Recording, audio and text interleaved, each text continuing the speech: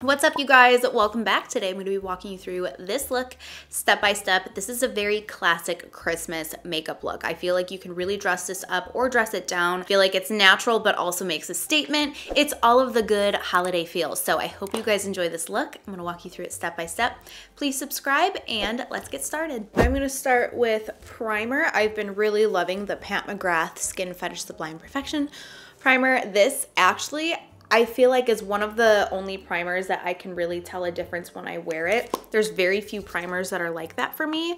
So I have been really liking it. It's very interesting of a formula. It kind of feels like a thick moisturizer, but also hydrating and silicone-y all at the same time. So it's a weird mixture, but I really like it. And I like the smell of it too, so going to apply this all over the skin. I'm very, very fair right now. All of my spray tan is off. So I'm gonna carry all of this down here because I still wanna look tan. So I'm just gonna use my tan foundations. Don't mind my extensions. I am due. Actually, my appointment isn't for two weeks my hair I think is just really growing because I haven't been bleaching it so my extensions are really grown out which is good news I was thinking about making it a goal to not bleach my hair in 2022. I'm thinking about it. When I go next for my appointment, I'm gonna have her actually bring some of this dark, which is like my natural color, just kind of throughout a little bit more.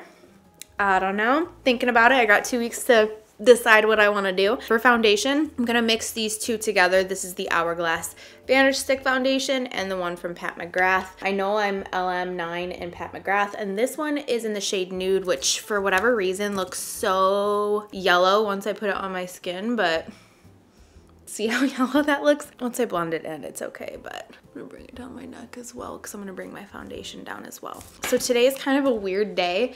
It's December 2nd, it's a Thursday. Ruben has been sick since last week Monday, so we didn't celebrate Thanksgiving with his family. I just went and celebrated with mine because his family is just his mom and his dad. So my family's Thanksgiving is like a bunch of people. So I just went and celebrated with them. The one with his family just got rescheduled. So now that he's feeling a little bit better, we're gonna go today. So it's kind of weird. I'm kind of in Christmas mode, but we're gonna go do Thanksgiving. I don't mind. I love Thanksgiving. That's my favorite holiday. His mom makes this stuffing that's like jalapeno and like sunflower seeds and cornbread. It's weird, but oh, it's so good. It's nice and spicy. Thanksgiving just was not the same without eating that. So I think it's gonna really feel like Thanksgiving today because we're gonna have that stuffing. It's, it's so good, so good. I just gave myself a little tan with that foundation.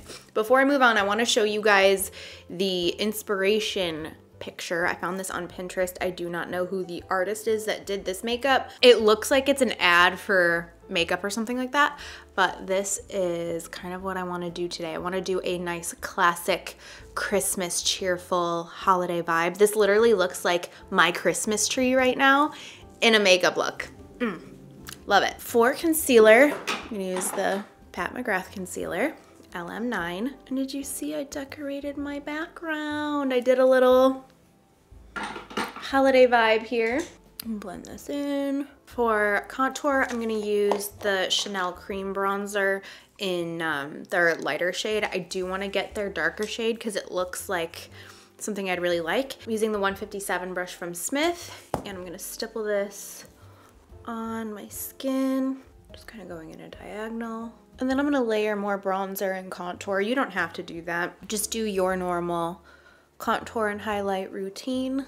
And just setting with a little bit of powder. So I just went and contoured my nose. I used just a regular eyeshadow brush today just to see how I like it and kind of change it up a little bit. So far so good, it was pretty easy. And then for highlighter, I'm gonna use the one from MAC in Step Bright Up. It's one of their holiday collection ones. It looks just like this. They had some amazing Black Friday deals on these and like their whole holiday collection at Ulta, I believe. I'm sure that the sales aren't going anymore, but I know that they have some like bundles and stuff. So I'll link those down below, but I'm gonna highlight with this right here in the tops of my cheekbones here. I love this because it gives such a beautiful natural highlight. And then I'm just gonna use a little tiny brush to do the nose.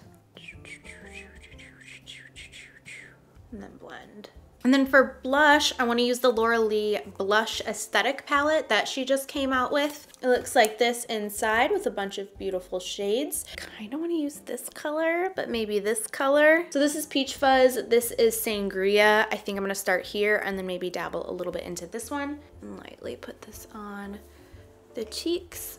Oh, that's a really pretty color.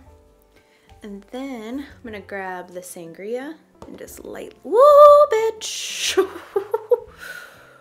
okay, that's intense. okay, I'm just going taking my powder brush and just going over that to diffuse it. That was a nice, beautiful concoction. I kind of added a little warm and cool because the peach fuzz is warmer and that is cooler. You guys know I love mixing those together, but yeah, that turned out so beautiful. I love the whole aesthetic of the blush aesthetic palette. Time for eyebrows. I'm gonna zoom in. I'm gonna start with just one of my lighter colored pencils. It sounded like I said colored pencils like, you know, like colored pencils, like crayons. But one of the lighter toned ones that I have. So you can see my brow tint is kind of faded since my last video. It's been a week and a half since I did them, so I'm coming up about ready to touch those up again. I'm thinking every two weeks might be nice, but I'm gonna bring them through, just kind of map out the shape, and then I'm gonna hold really far back to do the front. Like barely apply any pressure. Now I'm going in with this NYX uh, brow marker and I'm just creating some strokes to go throughout my brows, make them look like brow hairs. And then I'm gonna go in with my spoolie, just kind of soften that, especially up here. And then going in with my e.l.f. brow gel, I think it's in neutral brown. It's this just little tiny spoolie here. I'm gonna go in and just brush the brow hairs upwards, make them really fluffy. By the way, when I was talking about the skinny brow trend, you guys, I'm not gonna tweeze my freaking eyebrows to little spermy brows. That's not at all what I said in that video. I was explaining that the skinny brow trend is coming back and with makeup, you can give an illusion of a thinner brow. I'll just have to do a video and, and play with it and show you what I'm talking about because y'all went from Cindy Crawford to Pam Anderson real quick. I'm gonna prime. I'm using the Painterly Paint Pot from MAC. You can use any eye primer that you want. You can do no eye primer. Actually, this look would look good with no primer to kind of give like that wet sort of look on your lids you know, a little oily action. Um, because I am going to my in-laws tonight, I'm gonna have my makeup on all day, so I'm gonna prime. And then to finish the priming step, I just go in with my brush and just set with whatever powder is left over. For the eyeshadow, it's gonna be fairly simple and easy and sometimes stuff that's very simple and easy going into it can be a little bit tricky for me just because I can tend to go overboard. So what I'm gonna do, I'm gonna grab a little bit of creme brulee from Makeup Geek. That's gonna, I think, be like my only eyeshadow for this. Just go right here in the outer corner. I'm gonna do some inner corner action. Normally I leave that blank, but today we're gonna jazz that up. Then bring this throughout the crease. And then also underneath the eye, just blend that out there. So now that I've got the shadow on, I'm gonna apply the sparkly product. That picture is what inspired me first to do this look. And then when this got sent to me, I thought this was the perfect product to, re to recreate this look. So this is the Jaclyn Cosmetics Glassy Shimmer Top Coat looks like this. They have a bunch of different colors, but this is the one that I thought that would be perfect for it. This again is the color Glassy. So I'm just gonna pick this up with my finger. Looks like this. And just pop this on my eyeball. Woo. I'm mainly focusing on the center, but it will go basically everywhere and then I can always go back over it with my shadow to kind of define those other areas. This is looking exactly how I want it to look. Oh, I'm so excited. And in that picture, it goes pretty far up, like all the way up to the eyebrow. So we're gonna play with that and bring this up and just start layering to make it more frosty. and keeping the majority of it in the center. And then once it's a lot of it's off the finger, I'm gonna go everywhere else. I'm gonna grab my brush and just go into those eyeshadows again, just to reinforce the outer and inner corners, just to make sure those areas still look darker, but it's still nice and glossy. See the difference between this one and this one? They're both beautiful, but this one just has a little bit more depth and it's just because we re-emphasized the shadow. In this picture, she also has a little bit of this on the bottom. So I'm just gonna take this on my finger and look up and rub this right here. I don't wanna bring it all over, just right on the bottom, mirroring the top. I'm just using this brush that has some leftover darker neutral eyeshadow on it and I'm just hitting the corners. I don't want to go into a darker shadow and apply too much. If you don't have a dirty brush like I do, just dip it into some darker shadow if you want it to be a little bit more enhanced like this, but just dust off a lot of the product because you don't want it to get too smoky if you're trying to recreate this exactly. Okay, in that picture she had white in her waterline. I'm gonna go in with nude. Use whatever you'd like. I'm using the Anastasia Base 1 pencil. And I'm also gonna grab my face highlighter. Make sure you close the lids on these because it's a creamy product. You don't wanna dry it out, so make sure you put the lid back on. I'm now just gonna grab my face highlighter and just highlight the inner corners of my eyes and up here on the brow bone. Oh, these eyes, they turned out exactly like I was hoping for. I'm so excited. And it's so natural too. Like you could do a nude lip with this and look super, super glam, but also over the top in a way, just depending on how you wear this. Like, I don't know, I feel like this is like natural and effortless, but also very, just very Christmassy. I really love it. Okay, I'm gonna curl my lashes. I need to clean my eyelash curler, don't look at it. I'm gonna do some mascara. This is the Tarte Man Eater Mascaras, one of my favorites. I'm applying these lashes. They're from Velour. I will link them down below. Not sure what style they are off the top of my head, but I wanted something with a thicker band to kind of give the illusion of eyeliner and then something natural up top but fluffy and dramatic at the same time. And I think that these were perfect because they stand out but yet complement the look and it doesn't like cover it up or anything. I'm gonna go in with mascara for the bottom. This is the MAC Extended Play Mascara. We're just lightly adding this here to get a little bit of balance between the dramatic lashes and the bottom. For my lipstick today, I think I'm gonna use the Patrick Ta that's why she's late lipstick. It's a nice classic red. I might add a hint of she's not from here to the center to brighten it up, but we'll see. I'm gonna begin this off with the Cherry Lip Pencil from MAC. This is my favorite red lip liner. You can see it's gonna go on like velvet. So, and I have to be very careful and try not to talk too much while I apply this. But I always start right here in the center, go to the outer corner and lightly drag it down. Follow your lip line.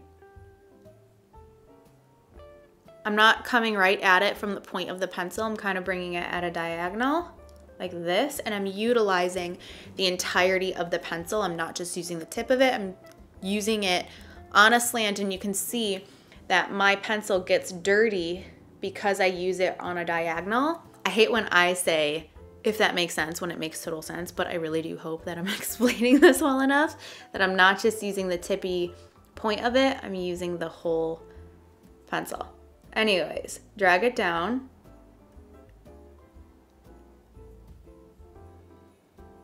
And then do the top.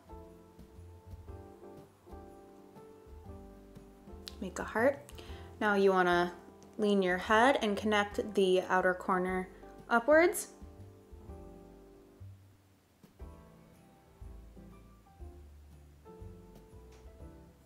You can see mine gets wider and then skinnier, so I'm gonna follow that wider point and make it kind of overline a little bit and then just mirror it on the other side.